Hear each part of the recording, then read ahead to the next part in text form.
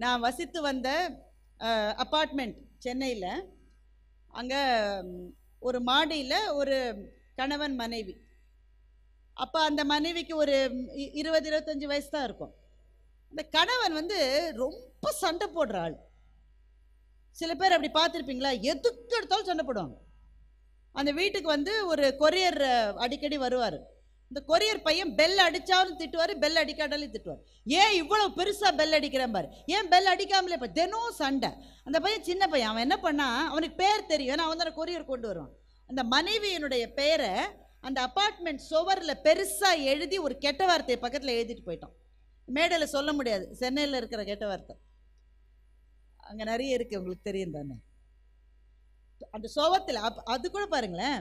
இந்த சமூகம் ஆணை பழிவாங்க வேண்டும் என்று நினைத்தால் அவன் வீட்டிலே இருக்கிற பெண்ணை பற்றி கெட்ட வார்த்தை சொல்லுகிறது. கெட்ட வார்த்தைகள் எல்லாமே பெண்களை வைத்து தான் இருக்கும். ஏனென்றால் அதை உருவாக்கியவர்கள் எல்லாருமே ஆண்கள் தான். அந்த சோகத்தில் அந்த ஆளோட தானே சண்டை. நீ அந்த ஆளை சண்டை போடு அந்த ஆள் பேரை எழுது.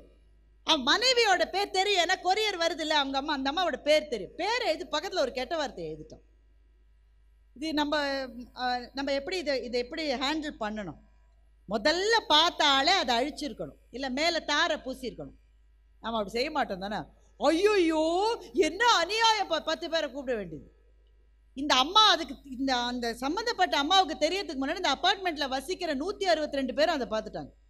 இந்த அம்மா தான் கடைசியாக பார்க்குது. இப்போ அந்த அம்மா என்ன செய்யும்?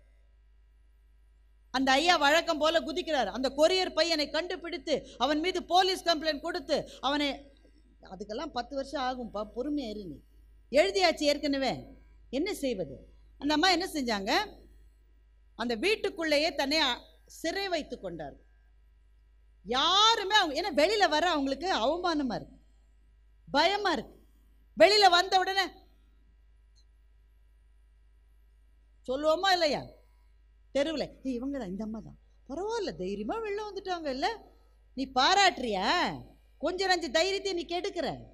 அந்த அம்மா தன்னை தானே சிறை வைத்து கொண்டார். She refuse to come out of the house நான் பார்த்தேன் நான் அதே அப்பார்ட்மெண்ட்டில் தான் இருந்தேன். நான் பார்த்தேன் ஒரு வாரம் ஆச்சு ரெண்டு வாரம் ஆச்சு. அவங்க தண்ணி எடுக்க வருவாங்க பால் வாங்க வருவாங்க வாக்கிங் போவாங்க ஆளே காணும். நான் போய் அவங்க வீட்டு பெல் அடித்தேன் பத்து தடவை பெல் அடித்து யாருமே திறக்கலை.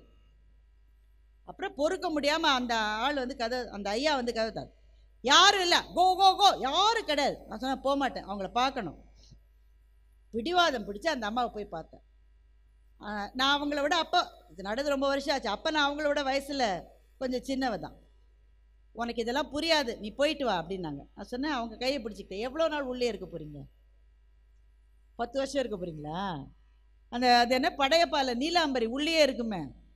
ஒரே வீடியோ கேசட்டை பார்த்துக்கிட்டு எவ்வளவு பரிதாபம் இல்லை. அப்படி ஒரு ஆள் கிடைக்கலனா ஒரு பெண்ணோ ஒரு பெண் கிடைக்கலனா ஒரு ஆடோ என்ன செய்யணும் தெரியுமா? இங்கே நிறைய இளைஞர்கள் இருக்கீங்க அதனால இதை சொல்கிறேன் நினச்ச ஆண் சில சமயம் ஒரு பெண்ணுக்கு கிடைக்க மாட்டான். நினச்ச பெண்ணு ஒரு ஆ- ஆணுக்கு சில சமயம் கிடைக்க மாட்டாங்க.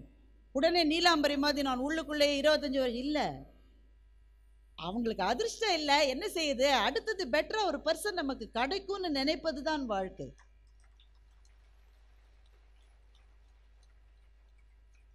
இதை நான் சொல்லவில்லை. கண்ணதாசன் இதை சொல்லுகின்றார். காதலித்தாள் மாறிவிட்டாள் வாழ்வு என்ன ஆகும்னு அவன் கேட்கிறான் காதலித்தாள் மாறிவிட்டாள் வாழ்வு என்ன ஆகும் அந்த பெண் பதில் சொல்றா அன்பு காட்டுகின்ற வேறிடத்தில் காதல் உண்டாகும்னு அவ சொல்றான் உடனே இவன் கேட்குறான் வருவதெல்லாம் காதலித்தால் வாழ்வு என்ன ஆகும் ஒவ்வொருத்தரும் வர வர காதலிக்க முடியுமா? வருவதெல்லாம் காதலித்தால் வாழ்வு என்ன ஆகும் அதுக்கு அவ பதில் சொல்றா தன் வாழ்க்கையையே காதலித்தால் நிலைமை நன்றாகும்னு அவ சொல்றா. வாழ்க்கையையே காதலிப்பது அதுதான். அதுதான் அவங்கள்ட்ட சொன்னேன். எவ்வளவு நாள் நீ உள்ளே இருக்க போறீங்க உள்ளே இருக்க போறீங்க பத்து வருஷம் இருப்பீங்களா? இருபத்தஞ்சி வருஷம் இருக்க போகிறீங்களா வெளியிலே வர மாட்டீங்களா எனக்கு என்ன செய்யுதுன்னே தெரியல. வெளியில் வந்தால் எல்லாரும் என்னையே பார்க்குறாங்க. அப்படியே தலையை குனிஞ்சு அப்படியே அப்படியே இந்த பூமியிலே புதஞ்சு. நான் சொன்னேன் நீங்கள் ஒன்றே ஒன்று தான் செய்யணும். என்ன செய்யணும்? நல்ல தலையை நிமிர்ந்து தைரியமாக போல்டாக தெருவில் நடந்து போகும் இது ஒன்று தான் நீங்கள் செய்யணும். அப்போ எல்லாரும் என்னை பார்த்து சிரிக்க மாட்டேன் சிரிக்கட்டும். சிரிக்கட்டும். சிரிச்சவனை பார்த்து நீங்கள் கேளுங்க என்னப்பா? என் பேரை எவனோ ஒருத்தன் எழுதிட்டான்றதுக்காக நான் தீ குளிச்சிடணுமா? நான் ஜெயிலே இருக்கணுமா? அவமானப்பட வேண்டியவன் தவறு செய்தவனை தவிர பாதிக்கப்பட்டவள் அல்ல என்று சொல்லுவதற்கு நம் பெண் குழந்தைகளுக்கு நம் பெண்களுக்கு நாம் பயிற்சி தர வேண்டும். ஆண்களுக்கும் அதேதான். யார் அவமானப்பட வேண்டும்? எது அறமற்றதோ அந்த அறமற்றதை செய்தவன் அவமானப்பட பட வேண்டுமே தவிர பாதிக்கப்பட்டவர்கள் அவமானப்பட வேண்டுமா என்ன? அவங்க கிட்ட நான் சொன்ன தலையை நிமிந்துக்கிட்டு நடந்து போங்க.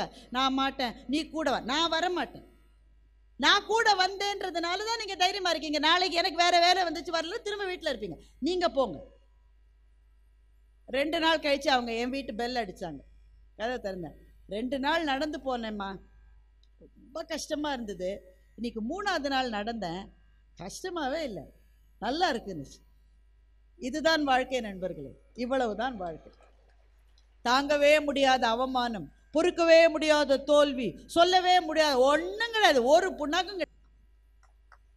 இதை பாலகுமாரன் என்கிற கதை சொல்லியிடமிருந்து தான் நான் தெரிந்து கொண்டேன்.